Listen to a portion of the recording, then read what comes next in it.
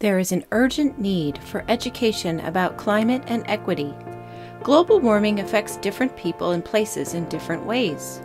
The impact on communities of color and on poor communities is particularly severe. But warming is a global phenomenon. No one will escape its impact. Learning about climate and equity is a first step in addressing the problem. So I've discovered by being in the classroom that being a teacher of science in this time of climate emergency is being a futurist. I have been looking for a long time for people who shared my sense of urgency about teaching climate in the classroom, but also my sense of what the future might hold. Funded by the John D. and Catherine T. MacArthur Foundation, TERC is designing and testing a new professional development model for teacher leaders who are at the forefront of teaching climate equity.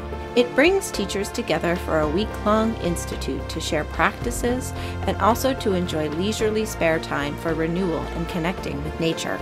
The institute didn't just feel like I was in a professional development just to learn, but also it allowed me to do a little self care, a look inward.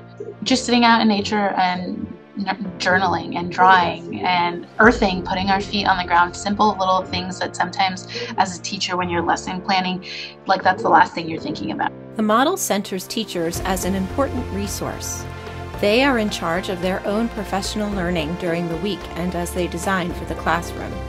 The Climate and Equity Institute was an opportunity for me to really have a chance to reflect and think about my teaching as well as uh, do some more systemic and larger work around the idea of climate change and how it's impacting our communities across the country. Um, it was really nice to see that even though we are from different states, different parts of the country, we all have the same struggles, and we really try to come up with um, outside the box thinking on how to inspire our students the Institute's workshop sessions featuring speakers from various sectors such as government, uh, institutions, but also educational institutions and even agricultural were enlightening and thought-provoking, broadening my understanding of the multifaceted nature of climate equity.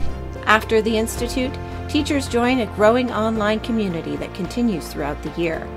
They work together intensively, putting some of their insights into action. Having students engage in meaningful work where they can see that what they're learning directly applies to solutions is absolutely critical for building our next generation of people who are going to be able to take action on the projects that matter to them. The climate and equity teachers are starting to make a real and lasting difference as they build and share their wisdom of practice.